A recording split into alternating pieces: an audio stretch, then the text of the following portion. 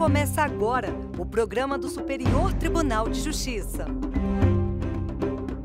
Olá, seja muito bem-vindo. Eu sou Kátia Gomes e o STJ Notícias está no ar. No programa de hoje você vai ver. Sessão da Corte Especial abriu o ano judiciário no Superior Tribunal de Justiça. Prorrogado afastamento de magistrados da Bahia. E mais, STJ valida cláusula de honorários em aluguel de shopping. O STJ Notícias começa agora.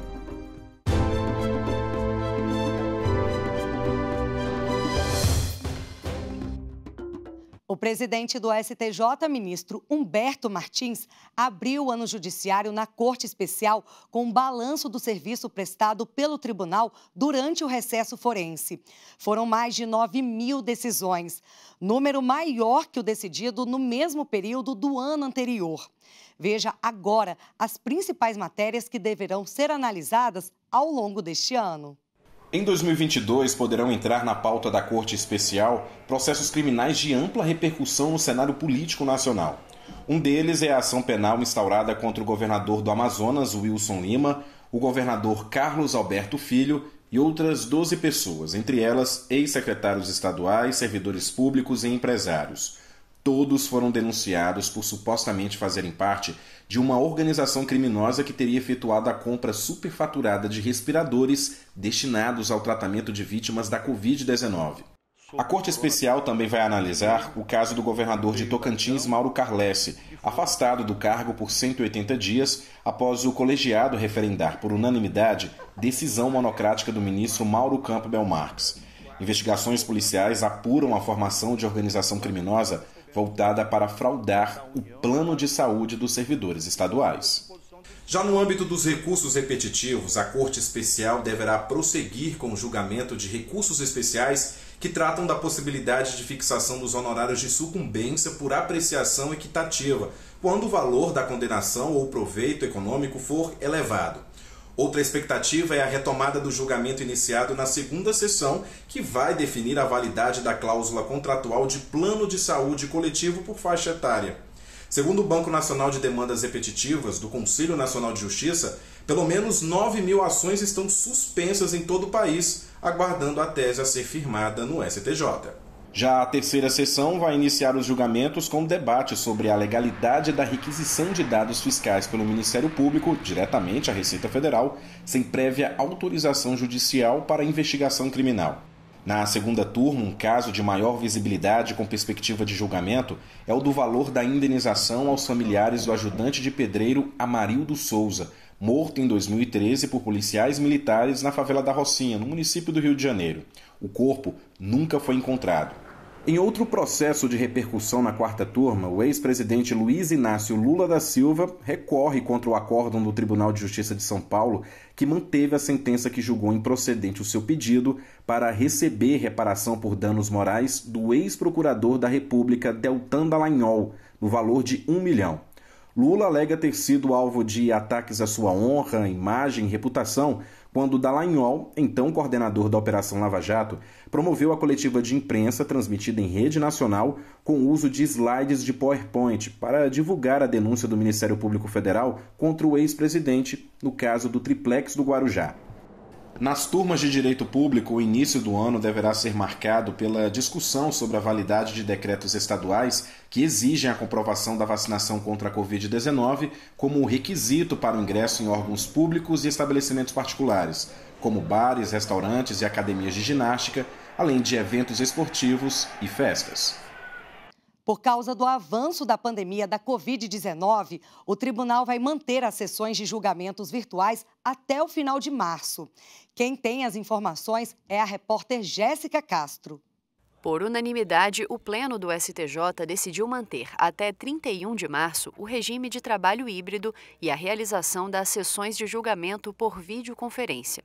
Foi definido também o adiamento para o dia 12 de maio da sessão presencial destinada à formação das listas para a escolha de novos ministros da Corte Superior, em vagas reservadas a desembargadores federais. De acordo com o Pleno, a escolha da nova data e o adiamento do retorno das atividades presenciais são condizentes com os esforços para conter, no âmbito do tribunal, o avanço da Covid-19 e do surto de gripe causado pelo vírus influenza. No final de março, a equipe de Secretaria de Serviços Integrados de Saúde do STJ irá avaliar a situação e uma nova sessão do Pleno será convocada para discutir o retorno das atividades presenciais.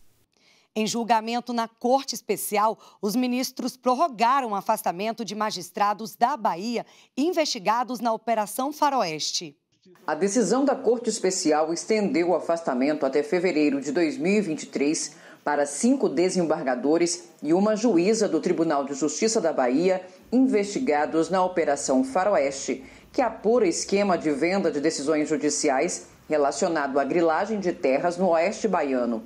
Os ministros consideraram que a medida não é necessária a outros dois desembargadores, porque eles já estavam afastados das funções desde dezembro de 2019 por conta da aposentadoria compulsória. Em fevereiro de 2021, a Corte prorrogou o afastamento dos magistrados por um ano, prazo que venceria nesta quinta-feira para alguns e na semana que vem para outros. Segundo o relator das ações penais no STJ, ministro Og Fernandes, a medida de afastamento continua necessária, pois as apurações estão avançando, mas não foram encerradas. O relator informou ter sido concluído o calendário de audiências para a oitiva das mais de 200 testemunhas arroladas pelas partes. O ministro acrescentou que outros inquéritos foram instaurados e remetidos à distribuição entre os membros da Corte Especial, havendo a possibilidade de abertura de novas ações penais o que reforça a conveniência do afastamento. E a ação penal contra ex-vereador investigado por corrupção em Dourados, no Mato Grosso do Sul, foi mantida na Justiça Comum. A decisão foi do ministro Sebastião Reis Júnior. O habeas corpus da defesa do ex-parlamentar, impetrado no Tribunal de Justiça do Mato Grosso do Sul para que o processo fosse remetido à Justiça Eleitoral, foi denegado. No Superior Tribunal de Justiça, em recurso em habeas corpus, a defesa requereu a declaração de incompetência absoluta da primeira vara criminal de Dourados, além da nulidade de todos os atos praticados, com a consequente remessa do processo para a Justiça Eleitoral, em razão da suposta relação do caso com delito de corrupção. Sidley Alves da Silva, ex-vereador e ex-presidente da Câmara Municipal de Dourados, em Mato Grosso do Sul, foi denunciado na Operação Uragano, realizada entre 2009 e 2010 por supostamente participar de esquema criminoso nos poderes executivo e legislativo do município, com envolvimento em delitos de peculato e corrupção passiva. Para o ministro do STJ, Sebastião Reis Júnior, é inviável acolher a tese da defesa, pois, como reconhecido pelas instâncias ordinárias, não houve a imputação de crime eleitoral ao ex-vereador. O ministro observou que o Tribunal Estadual não verificou nenhuma notícia de que o dinheiro desviado tenha sido efetivamente empregado em campanhas eleitorais ou declarado ao Tribunal Regional Eleitoral, não havendo razão para o deslocamento da competência para a Justiça Especializada. Sendo assim, o ministro negou provimento ao RHC e manteve na Justiça Comum a ação penal instaurada contra o ex-parlamentar. Já em julgamento na segunda turma, os ministros mantiveram a empresa de bebidas Pitu no programa de recuperação fiscal e estabeleceram prazo máximo de 25 anos para pagamento da dívida. Samanta Peçanha. Segundo a Fazenda, a empresa de bebidas Pitu foi excluída do refis porque as prestações pagas pela empresa, que giravam na época em torno de 234 mil reais mensais, seriam insuficientes para amortizar a dívida. O montante total discutido no processo ultrapassa 180 milhões. Ao dar parcial provimento ao recurso especial da empresa de bebidas, a segunda turma levou em consideração que a solução teve a concordância tanto da empresa quanto da Fazenda Nacional, além de atender às diretrizes estabelecidas na legislação. A relatora, ministra Suzete Magalhães, apontou que a Pitu tem arcado com pagamentos que, embora insuficientes para amortizar o débito, foram cumpridos de forma regular e em valor considerável, o que demonstra sua boa-fé. A ministra também enfatizou que as partes chegaram a buscar uma solução consensual para o litígio e, apesar da autocomposição não ter sido concluída, manifestaram interesse em manter a prestação no patamar atualmente pago pela empresa e estabelecer que os pagamentos sejam concluídos em 25 anos. A terceira turma decidiu que o reajuste de seguro de saúde internacional contratado no Brasil não se sujeita à Agência Nacional de Saúde. Entenda. O colegiado negou provimento ao recurso especial de uma beneficiária que queria a revisão do reajuste do seguro de saúde que ela contratou com uma empresa estrangeira e que, segundo ela, não observou os índices da Agência Nacional de Saúde Suplementar para planos individuais de assistência médica no Brasil. Em primeiro grau, o pedido foi julgado improcedente sob o fundamento de que o seguro contratado tinha características diferentes dos planos nacionais. O Tribunal de Justiça de São Paulo manteve a sentença por considerar que os índices da ANS não poderiam ser aplicados a contrato sujeito a variações cambiais.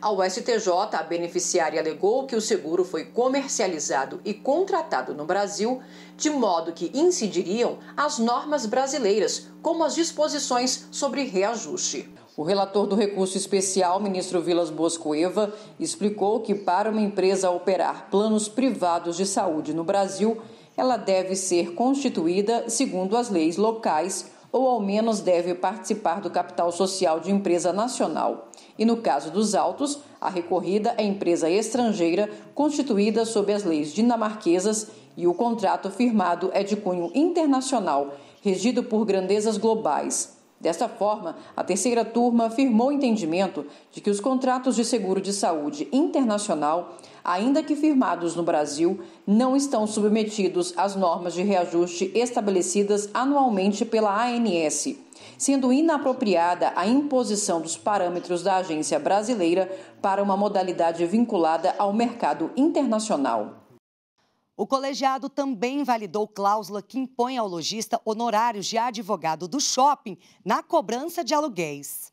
No recurso especial, o shopping center pediu a validade de uma cláusula que previa o percentual de até 20% a título de honorários advocatícios, caso fosse necessário cobrar judicialmente o lojista por aluguéis em atraso. A cláusula foi declarada nula nas primeira e segunda instâncias.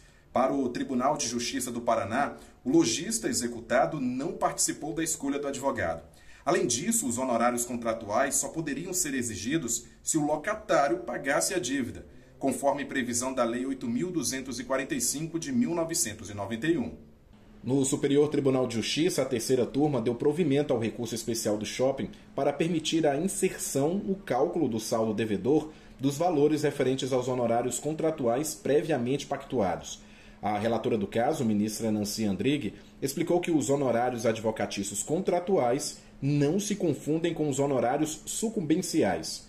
A ministra destacou também que o contrato de locação em espaço de shopping constitui verdadeiro contrato empresarial, no qual devem ser prestigiadas a liberdade contratual e a força obrigatória dos contratos. E a quinta turma aplicou teoria da perda de uma chance e absolveu o menor acusado com base em testemunhos indiretos. O colegiado aplicou a teoria da perda de uma chance para absolver um adolescente acusado de ato infracional análogo ao crime de homicídio tentado. De acordo com o processo, o menor, morador de rua, golpeou a vítima com um paralelepípedo porque ela teria agredido sua namorada e um amigo, mas a tese de legítima defesa não foi aceita. As instâncias ordinárias entenderam que houve excesso e haviam imposto a medida socioeducativa mais grave prevista no Estatuto da Criança e do Adolescente. A decisão considerou depoimentos do bombeiro e da policial militar que atenderam à ocorrência. Já os depoentes basearam os relatos em informações de pessoas que estavam no local, mas que, por não terem sido identificadas, não foram formalmente ouvidas pela polícia nem em juízo. Além disso, não foi realizado o exame de corpo de delito na vítima. Para o relator do recurso da defesa no STJ, ministro Ribeiro Dantas, o caso demonstra uma investigação falha que extinguiu a chance da produção de provas fundamentais para a elucidação da controvérsia, o que viola o Código de Processo Penal, o qual impõe à autoridade policial a obrigação de colher todas as provas que servirem para o esclarecimento do fato e das circunstâncias. De acordo com o ministro, houve uma gravíssima omissão porque várias pessoas que presenciaram a briga não foram identificadas para depoimento. Segundo o voto do relator, a quinta turma fixou o entendimento de que o testemunho indireto não é apto para comprovar a ocorrência de nenhum elemento do crime e, por conseguinte, não pode fundamentar a condenação do réu. E antes de encerrar o STJ Notícias, você fica com imagens do Tribunal iluminado de roxo. A campanha é voltada para a conscientização e tratamento das doenças lúpus, Alzheimer e fibromialgia. O programa volta semana que vem. Continue acompanhando as notícias do tribunal no site oficial, redes sociais, YouTube e plataformas de podcast. Um ótimo ano a todos.